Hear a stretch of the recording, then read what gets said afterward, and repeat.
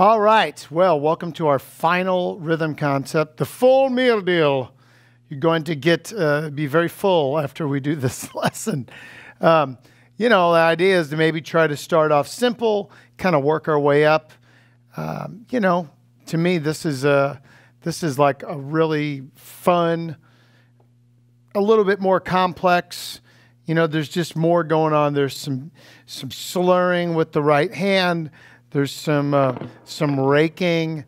Uh, so this rhythm concept, I'm going to play it for you first, so you can hear the rhythm concept, because that's what we're focusing on.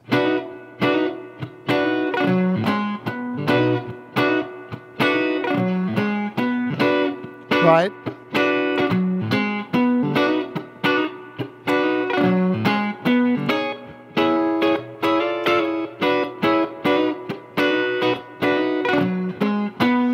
So it's got a bump, bump, bump, ba bump, bump, bump, bump, bump. Nice swing and blues feel to it. It's a little more upbeat than some of the other ones we worked on.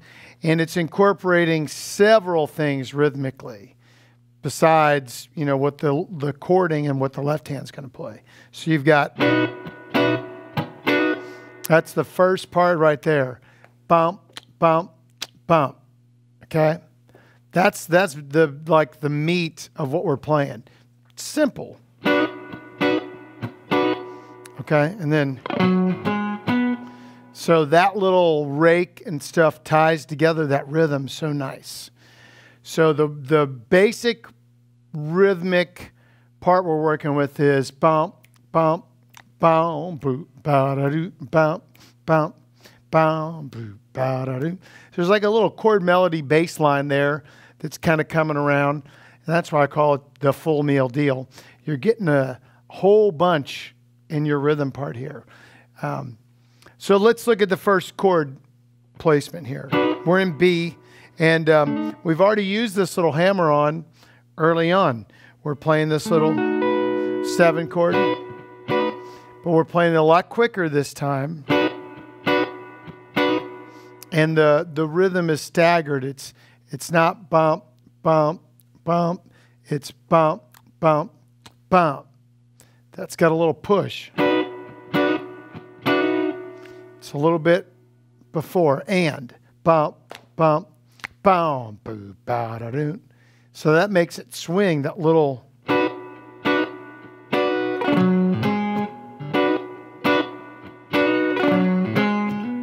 All right, now let's look at that little rake kind of lick.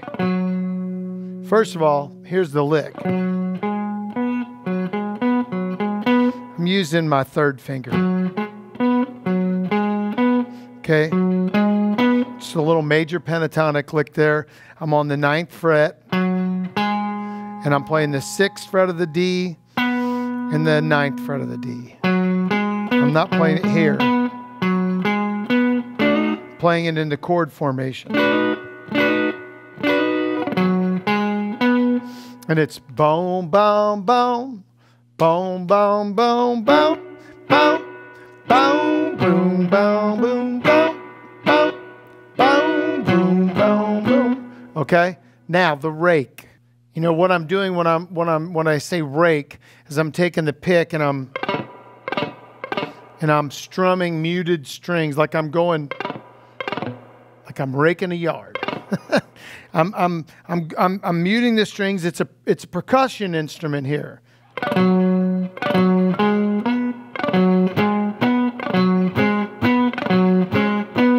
That's the movement, okay?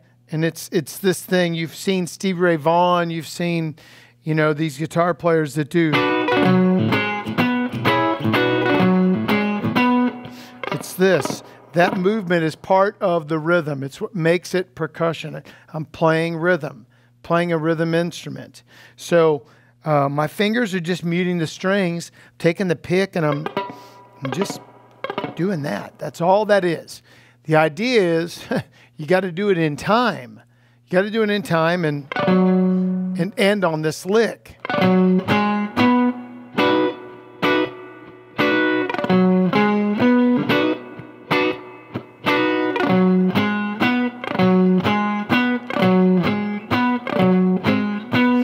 That's it. Doesn't have to be perfect every time. It's just got to feel good. You know, I'm just I'm I'm playing rhythm. So when I'm doing these things, sometimes I even you'll hear me.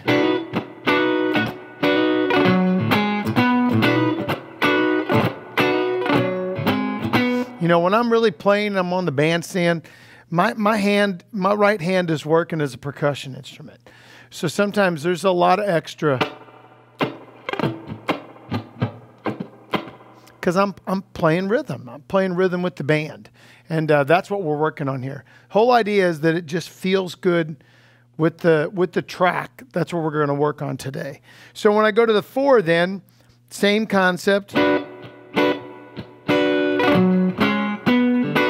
It goes right back into the one. So the four is just the the three chords here. I mean the three notes here on uh, B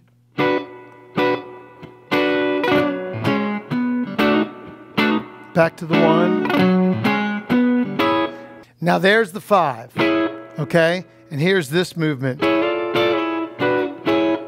Okay, I'm just using the same three note chord. I'm on the ninth fret. And it's got to be loose. It's got to slur. It's got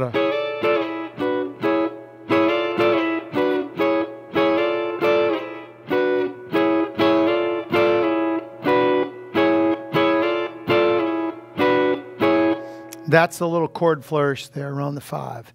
So, and then it goes back to the. So the whole thing is